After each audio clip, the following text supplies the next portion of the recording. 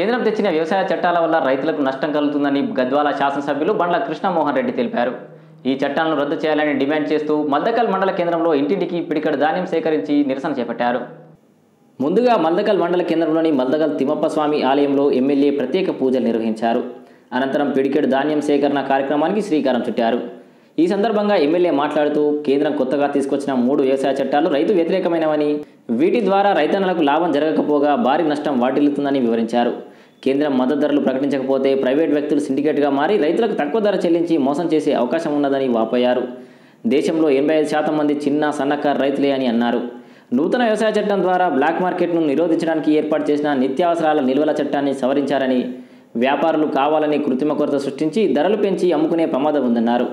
ఇది రైతులకు వినియోగదారుడికి ఇద్దరికీ నష్టమని అంతేగాక దేశానికి అన్నం పెట్టే రైతన్నను సున్నం చేసే ప్రమాదాలున్నాయని అన్నారు.